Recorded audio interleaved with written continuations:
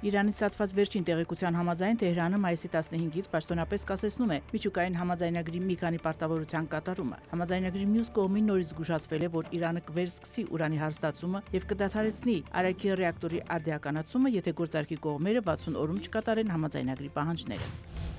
Ըստ Իրանի ստացված մեկ այլ լուրի Իրանի հոգևոր առաջնորդ Ալի Խամենեին հայտարարել է, որ ԱՄՆ-ի հետ պատերազմ չի լինի։ Նրա խոսքով ռազմական դիմակայություն չի լինի, քանի որ ոչ Իրանը, ոչ ԱՄՆ-ն չեն ձգտում պատերազմել։ Ամերիկացիները գիտեն, որ պատերազմն անօգուտ է։ Խամենեին նշել է, որ Վաշինգտոնը ձգտում է Իրանին զրկել ուժից ու ազդեցությունից։ ԱՄՆ պետքարտուղար Մայք Պոմպեոն ամփոփել է իր այցը Սոչի, որտեղ հանդիպել էր Վլադիմիր Պուտինի եւ Սերգեյ Լավրովի հետ։ Պոմպեոն իր այցը որակել է քայլ առաջ եւ նշել, որ երկու երկրների գործակցությունը կարող է ճիշտ ճանապարհով ընթանալ։ Ավելի ուշ Վլադիմիր Պուտինի օգնական Յուրի Ուշակովը հայտարարել է, որ Ուկրաինային վերաբերող հարց չեն քննարկել հանդիպան ժամանակ։ Ոչինչ չի խոսվել նաեւ Վենեսուելայի նախագահ Նիկոլաս Մադուրոյի մասին։